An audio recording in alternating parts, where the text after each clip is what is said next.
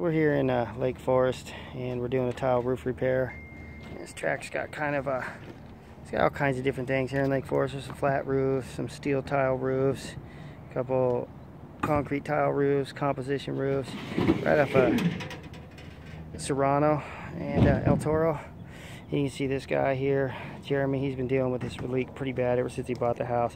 See, it's really, really bad here. So this was going into uh, his garage. So we're gonna, uh, we already tore out all the felt. We found a leak. We're gonna do, we're gonna cut out this and just to show you that uh, I know a lot of roofers, they like to do these, what they call layovers or recovers. And um, they don't go through and uh, repair this mold damaged wood. And it's really, really important that you dig this stuff out and change it. First, mold is really bad for your house. And uh, I'm gonna show you how bad this damage is. It's, it, it's just, yeah, look at this. This is what it looks like. That's what their roof is doing. If you so when you do the layover, this stuff is just you're going right over this. It's incredible how bad this stuff is. You just wouldn't even believe it. And this is the stuff. Look what's underneath it. This is what's underneath it. This is your wood. Look at that.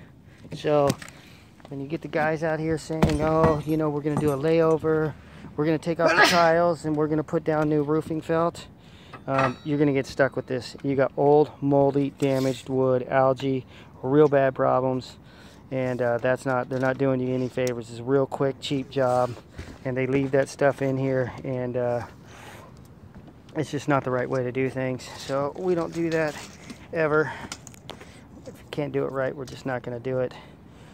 So, including in the repair in this roof, we always go through and, you know, we'll fix all the broken tiles. You can see that uh, We've removed a bunch of his broken tiles that he had here. We're going to replace them. We got new tiles. He's got broken tiles pretty much everywhere. So we're going to be changing these. We're going to be repairing these. We're going to this rusted flashing right here. We're going to wire brush all the really hardcore rust off of it. Get that off. And uh, over here we found one more little detail. So it really helps to have your stuff done thoroughly. He's got his chimney flashing. Looks fine. But you can see this edge right here is it's real loose.